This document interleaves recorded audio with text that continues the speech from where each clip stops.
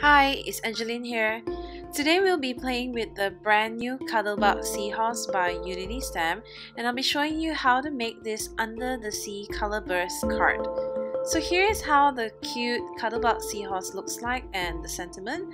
I've already stamped and colored it with some Copics and I've also added some clear Wink of Stella glitter on the seahorse.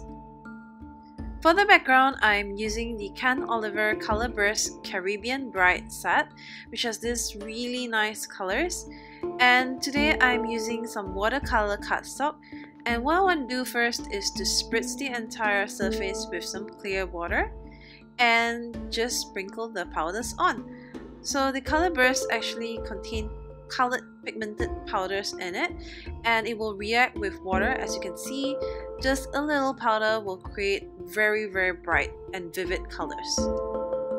You can also add more water to mix the colors better together. And then what I'm doing here is to grab a piece of paper towel to absorb all the excess colors out now it's time to assemble the card just put everything together and you're done. So I'm adhering the watercolor cardstock to my, my card base and then just adding all the seaweed and the seahorse together.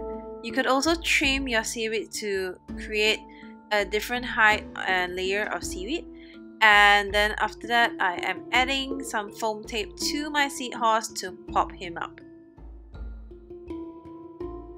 So here is my finished card. I hope you enjoyed this Under the Sea card and do try it out for yourself. Thanks for watching. Bye.